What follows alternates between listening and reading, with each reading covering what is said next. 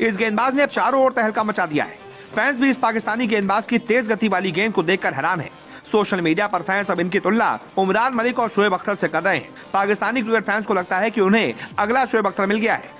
दरअसल ईसानुल्लाह ने घातक गेंदबाजी की, जिसकी वजह से विरोध पाकिस्तान सुपर लीग के इतिहास में उनका चार ओवरों का गेंदबाजी स्पेल अभी तक का सबसे तेज गति के तौर पर रिकॉर्ड किया गया स्पेल है। ईसानुल्लाह ने क्या ज़बरदस्त गेंदबाजी की है यार? उन्होंने भी शादाब की तरह तीन विकेट लिए और जिस तरह से उन्होंने गुरबाज को आउट किया, एकदम तेज रॉकेट जैसी गेंद पे बोल्ड किया, फुल टॉस बॉल थी, लेकिन उसका हवा नहीं लगा गुरबाज को, और ईसानुल्लाह ने पूरे मैच में ज़बरदस्त बॉलिंग की है। सामने क्रम पाकिस्तान वर्सेस अफ़गानिस्तान गुजश्ता रात होने वाले तीसरे टी मैच में पाकिस्तान ने अफ़गानिस्तान के व्हाइट वॉश करने की उम्मीदों को तो खाक में मिला ही। वहीं हमारे पड़ोसी मुल्क भारत के चंद ऐसे सहाफी ज़रूर हैं जो ये चाहते थे कि पाकिस्तान बुरी तरह व्हाइट वॉश हो, उनकी भी उम्मीदों पर पानी फेरा है। सबसे अहम बात यह है कि पाकिस्तान के बैटर्स ने अच्छा परफॉर्म किया, और साइम अयूब ने एक अच्छी और जिम्मेदाराना बारी खेली। इन तमाम नए चेहरों के बारे में, जहाँ बहुत ज़्यादा तनकीद की जा रही थी, वहीं इस जीत को एक ताज़ा हवा का झोंका पाकिस्तानी क्रिकेट के लिए कहा जा रहा है। और न सिर्फ़ पाकिस्तान, बल्कि भारत के सहाफी इन प्लेयर्स की परफॉर्मेंस को खुशाइन करार दे रहे हैं। खासकर साइम अयूब एहसानुल्ला और जमान खान की वो परफॉर्मेंस जो पाकिस्तान के बेंच स्ट्रेंथ को काफ़ी मज़बूत कर सकती है। पहले दो मैचेस के बाद जो पाकिस्तान पर प्रेशर था, उससे किसी तौर पर भी ये नहीं लगता था और पाकिस्तान के बड़े बड़े एनालिस्ट ने ये तक कह दिया था कि अफ़गानिस्तान पाकिस्तान को आसानी से व्हाइट वॉश कर देगा क्योंकि मोराल बहुत ज़्यादा डाउन है। लेकिन फिर जिस तरह परफॉर्मेंस थी जिस तरह बॉलिंग की गई, खासकर एहसान एहसानुल्ला की, वो बाउंसर और तीन खिलाड़ियों को आउट करना बिलाशुबा पाकिस्तान को एक अच्छा और तेज गेंदबाज मिल चुका है। और इसी सब की बातें भारत के मीडिया में हो रही हैं कि पाकिस्तान को अब शोएब अख्तर ढूँढने की ज़रूरत नहीं, एक नया शोएब अख्तर एहसान एहसानुल्ला की सूरत में मिल चुका है। और उसकी एज भी बहुत कम है और इस एज में इतनी ज़्यादा स्पीड 150 तक बॉल करने वाला जब आगे बढ़ेगा एक्शन में बेहतरी लाएगा तो स्पीड भी बेहतर होगी और शोएब अख्तर का रिकॉर्ड कोई और नहीं, पाकिस्तान का एहसानुल्ला ही तोड़ेगा। आइए आपको लेकर चलते हैं और दिखाते हैं कि कल के मैच और एहसानुल्ला के बारे में भारत के मीडिया में इस वक्त क्या चल रहा है। 20 साल के पाकिस्तानी गेंदबाज ने उड़ाया गर्दा। 150 की स्पीड से चटका डाले इमरान मलिक उसका वीडियो देख रहे हैं। शोएब अख्तर तालियाँ ठोक रहे हैं। पाकिस्तान क्रिकेट में इस दिग्गज गेंदबाज की एंट्री से दहशत में क्रिकेट पलट। बल्लेबाजों हो जाओ सावधान। ये बॉलर आग का गोला फेंकता है। उमरान से पहले क्या वो तोड़ देगा? शोएब अख्तर का रिकॉर्ड। पाकिस्तान क्रिकेट में समय समय पर एक से एक शानदार तेज गेंदबाज देखने को मिलते हैं। इमरान खान से लेकर वसीम अकरम, वकार यूनुस, आकिब जावेद और शोएब अख्तर सभी ने अपनी तेज गति के साथ वर्ल्ड क्रिकेट के दिग्गज बल्लेबाजों को परेशान किया है। पाकिस्तान सुपर लीग के शुरू होने के बाद से उन्हें और भी बेहतर तेज गेंदबाज ढूँढने में मदद मिली है। मुल्तान सुल्तान की टीम से खेलने वाले एहसानुल्लाह ने अपने दूसरे ही मैच में तूफानी रफ्तार से सभी को इम्प्रेस किया। 20 साल के एहसानुल्लाह ने अपनी तेज गेंदबाजी से बल्लेबाजों का बुरा हाल कर दिया है। एहसानुल्लाह को पाकिस्तानी क्रिकेट का भविष्य बताया जा रहा है। अपनी तेज गेंदबाजी से धमाल मचाया बल्लेबाजों को घुटने टेकने पर मजबूर कर दिया। गेंदबाज ने 150 किलोमीटर प्रति घंटे की रफ्तार से गेंदबाजी कर महफिल लूट ली। यही नहीं, एहसानुल्लाह ने जिस अंदाज में पाक, वो भी कमाल कर रहा। इस दौरान उनकी गति और लाइन लेंथ भी सटीक रही। एहसानुल्लाह को उनकी गेंदबाजी के लिए प्लेयर ऑफ़ द मैच के खिताब से नवाजा गया। इस गेंदबाज ने अब चारों ओर तहलका मचा दिया है। फैंस भी इस पाकिस्तानी गेंदबाज की तेज गति वाली गेंद को देखकर हैरान है। सोशल मीडिया पर फैंस अब इनकी तुलना उमरान मलिक और शोएब अख्तर से कर रहे हैं। पाकिस्तानी क्रिकेट फैंस को लगता है कि उन्हें अगला शोएब अख्तर मिल गया है। दरअसल ईसानुल्लाह ने घातक गेंदबाजी की, जिसकी वजह से विरोध पाकिस्तान सुपर लीग के इतिहास में उनका चार ओवरों का गेंदबाजी स्पेल अभी तक का सबसे तेज गति के तौर पर रिकॉर्ड किया गया स्पेल है। ईसानुल्लाह ने लगभग 145 की औसत गति के साथ अपने चार ओवरों में गेंदबाजी की। इससे पहले ये रिकॉर्ड पाकिस्तान के ही तेज गेंदबाज हारिस रऊफ के नाम था।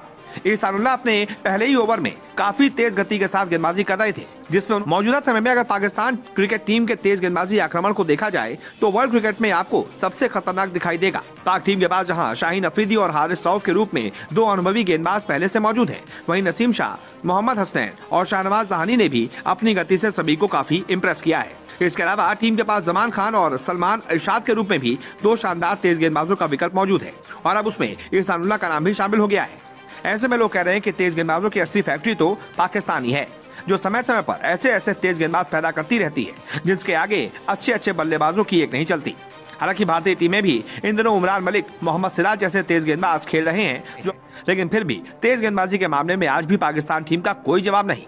एहसानुल्लाह की धमाकेदार एंट्री ने एक बार फिर से इस बात को साबित कर दिया है। भूला अगर शाम तक घर लौट आए तो उसको भूला नहीं कहते हैं। और ये बात लागू होती है पाकिस्तान टीम के यंग स्टार्स पे। अफ़गानिस्तान के तीसरे टी ट्वेंटी मैच में उन्होंने ज़बरदस्त परफॉर्मेंस दिया और अपनी टीम को छियासठ रनों से जीत दिलाई। ये बात ठीक है कि सीरीज़ पहले ही अफ़गानिस्तान जीत चुका था लेकिन जिस अंदाज में अफ़गानिस्तान ने जीता था और जिस तरह की डिमोरलाइजिंग डिफीट हुई थी पाकिस्तान की, बहुत कम उम्मीद थी कि आखिरी मैच में इसके खिलाड़ी खड़े हो पाएँगे, लड़ पाएँगे, जीत पाएँगे।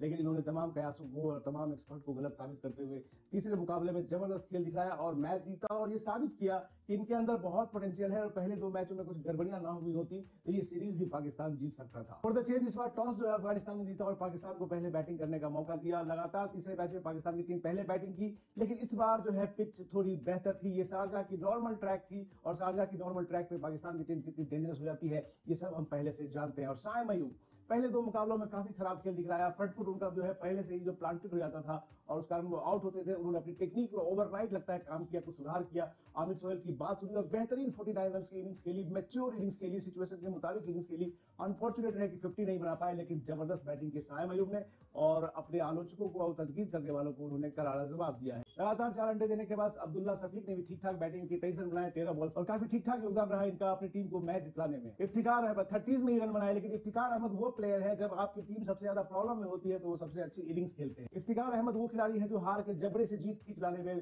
सक्षम होते हैं, कामयाब होते हैं, और ऐसा उन्होंने केवल थर्टी प्लस की इनिंग्स खेली है, लेकिन ये इनिंग्स बहुत ज़्यादा इंपॉर्टेंट है मैच के कॉन्टेक्स्ट में सीरीज़ के कॉन्टेक्स्ट में, बेहतरीन बैटिंग की इफ्तिकार में। और मेरा ये मानना है कि इनको रेगुलर पाकिस्तान की टीम में मौका मिलना चाहिए, इनके साथ ज़्यादा छेड़छाड़ नहीं होनी चाहिए। कप्तान सादाब खान ने टी इंटरनेशनल क्रिकेट में अपने सौ विकेट पूरे कर लिए हैं, और साथ ही वो पाँच रन भी पूरे कर चुके हैं। तो टी ट्वेंटी इंटरनेशनल क्रिकेट में दुनिया के सिर्फ़ दूसरे ऐसे क्रिकेटर बने हैं, जिन्होंने पाँच रन भी बनाए और सौ प्लस विकेट भी लिए हैं। Well done Shadab Khan. इनसे ज़्यादा जो है वो कारनामा किया है केवल अल हसन ने। साकिब के नाम 2000 से ज़्यादा रन और 100 से ज़्यादा विकेट है। लेकिन शादाब खान, पाकिस्तान और इंडिया दोनों मिला करके 100 विकेट लेने वाले पहले क्रिकेटर बन गए हैं। एक बार पाकिस्तान ने 180 प्लस का स्कोर बनाया, तभी जीत उसकी पक्की हो गई। थी देखिए, अफ़गानिस्तान की टीम बहुत अच्छी टीम है, बहुत फाइटिंग टीम है, लेकिन ये 130 140 रन वाली टीम है। इससे ज़्यादा अगर अपोनेंट बना लेता है खास करके ऐसी टीमें जो वर्ल्ड क्रिकेट में बड़ा नाम रखती है, जैसे इंडिया पाकिस्तान ऑस्ट्रेलिया इंग्लैंड इसके खिलाफ फिर अफ़गानिस्तान मैच नहीं जीत पाता है। जब ये टीमें 140 150 160 के ज़्यादा रन बना लेती है। अगर मैच 120 से 130 के बीच में फंसता है तो अफ़गानिस्तान के पास हमेशा मौके होते हैं, तब वो फाइट करती है। अफ़गानिस्तान की टीम एक बॉलिंग टीम है।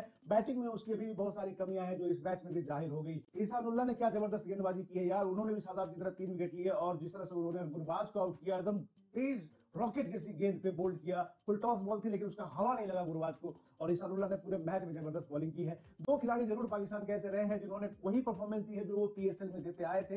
एक तो ईसानुल्लाह और एक जवान और इन दोनों क्रिकेटर का जो फ्यूचर है, बहुत ज़्यादा ब्राइट है। कुल मिलाकर के पाकिस्तान की टीम सीरीज़ भले ना जीत पाई हो, लेकिन उसके यंगस्टर्स ने जो पहले दो मैच में फेल रहे थे, उन्होंने लास्ट मैच आते आते जो है, अपना पोटेंशियल साबित कर दिया। और ये बताया कि इनको रेगुलर मौके मिले, बाबर और रिजवान के साथ मिक्स करते हुए। तो ये भी काफ़ी अच्छा परफॉर्मेंस कर सकते हैं। देखिए, पाकिस्तान ने बस इतनी गलती की कि सारे के सारे जो सीनियर प्लेयर्स हैं, सात, आठ सीनियर प्लेयर्स को बिठा करके एकदम यंग टीम उतार दी। शारजा जैसे कंडीशन में अफ़गानिस्तान के खिलाफ ये रिस्की फैसला हो सकता था और ऐसा ही हुआ, लेकिन बहरहाल आखिर होते होते सीरीज़ खत्म होते होते उनके यंगस्टर्स ने अच्छा परफॉर्मेंस दिया और finally they prove that they can deliver if given proper chance आखिर मैं अफ़गानिस्तान को भी बधाई दूँगा कि उन्होंने सीरीज़ को दो एक से अपने नाम किया, पहली बार सीरीज़ जीती। लेकिन पाकिस्तान के लिए भी सब कुछ बुरा नहीं रहा। अंत भला तो सब भला कहेंगे, क्योंकि आखिर आखिर उसने मैच भी जीत लिया, उसके यंगस्टर्स ने परफॉर्मेंस भी दिया।